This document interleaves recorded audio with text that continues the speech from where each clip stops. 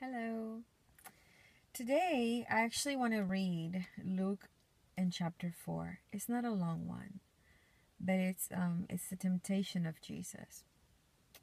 So here we go. Jesus, full of the Holy Spirit, returned from the Jordan and was led by the Spirit in the desert, where for 40 days he was tempted by the devil. He ate nothing during those days, and at the end of them he was hungry. The devil said to him, If you are the Son of God, tell this stone to become bread. And Jesus answered, It is written, Man does not live on bread alone. The devil led him up to a high place and showed him in an instant all the kingdoms of the world. And he said to him, I will give you all their authority and splendor, for it has been given to me, and I can give it to anyone I want to. So if you worship me, it will be yours. Jesus answered, It is written, Worship the Lord your God and serve him only. The devil led him to Jerusalem and had him stand on the highest point of the temple. If you are the Son of God, he said, throw yourself down from here. For it is written, He will command His angels concerning you to guard you carefully. They will lift you up in their hands so that you will not strike your foot against a stone. And Jesus answered, It says, Do not put the Lord your God to the test. When the devil had finished all this tempting, he left him until an opportune time. We are supposed to go through temptation. And the devil is very smart. Okay? You need to remember that. Because again, he's been studying you since you are born.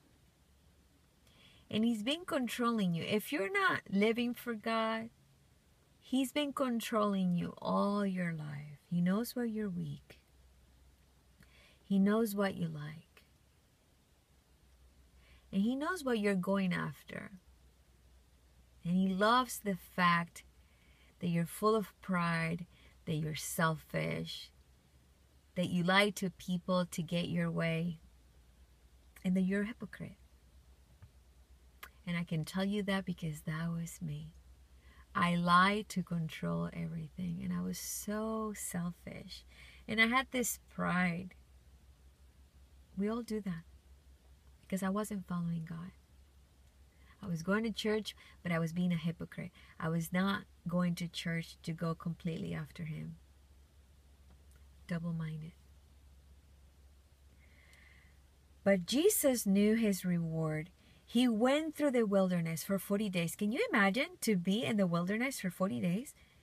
We like, I don't want to use the word freak out, but we do freak out if we go through some trials for a while. We don't know what to do. We get desperate. We gossip. But Jesus, Jesus knew that God had a better plan. And he was fighting with flesh. He was hungry. He was tired. I bet those 40 days were really long. But he hung up. He, he was hanging on to God's love to God's plans, to God's will, knowing and believing and trusting that there was a reward. That at the end, He was going to give His life for the human race and to be the King of Kings. And by that, and by that act, by that sacrifice, that was all love. He left his kingdom to become poor. He left to be with God to show you love. Do you hear what I'm saying? Jesus left everything behind. Someone that was completely innocent. To carry all this pain from the world. To carry all that shame, sickness for you. For me. And you can't make time for him? You can't give up your fun here in the world to experience, to be part of that truth? That nothing is worth of what you're doing? That He's worth it all? That it's not worth you not forgiving people? That He's worth it all because He forgives your sins? That it's not worth what you have here in the world because everything will burn here? But what he offers you is eternal? It's common sense. Don't be smart to be a doctor. Don't be smart to manage your money very well, but not be smart about choosing what is good for good forever. I should be dead. I could be in jail right now for all the crazy things that I was doing, for that crazy path that the devil was leading me, really, since I was a little girl. Stop the devil now. You know in your heart you're not going after God completely.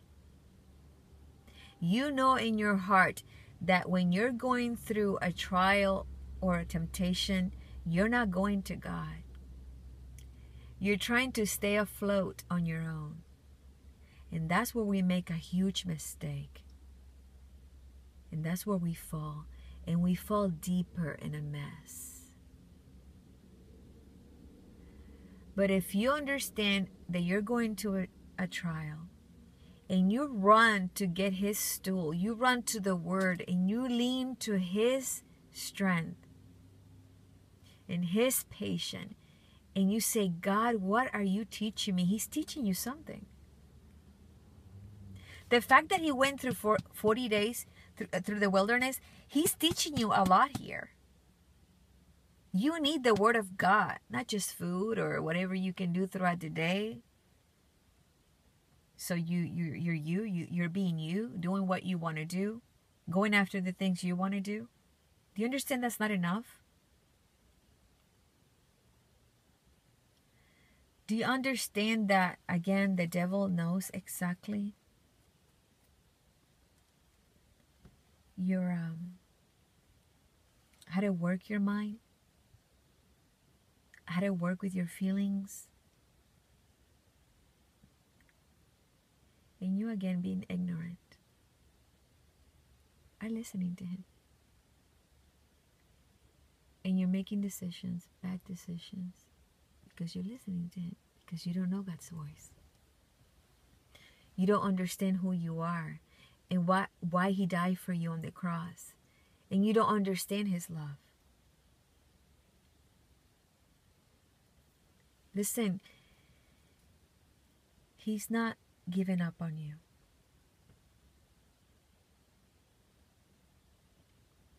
But He's sharing something very beautiful with you, which is His grace and His mercy. He's trying to help you out to get out of that hole so you can breathe. All He's asking you is for you to let it go I love this song from Steffany Frizzell. She's in Bethel. I'm letting go, falling into you. Just let it go. Forgive. Stop being angry. Stop going after empty things. Stop going for things that are temporarily.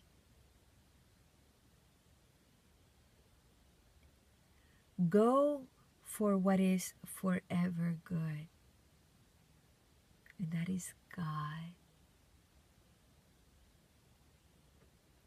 Because what He wants to do for you, oh my gosh, you have no idea. I have no idea. Listen, the fact that I was so lost and he's been, oh my goodness, a bird came to the window. and the fact that he's been giving me all these messages.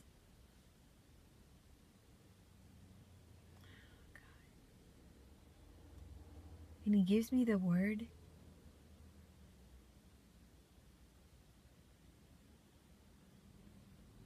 I don't know. I don't know what I would do without him. He's everything to me.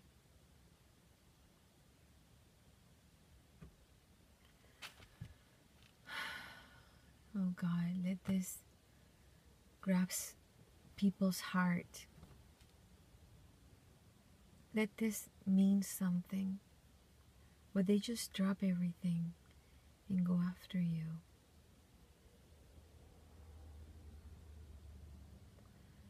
Where, like this worship leader said also in Bethel,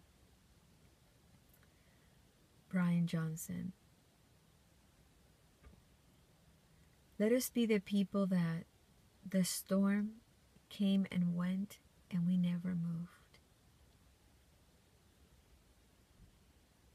Can you believe that we can, that is possible? That's with God.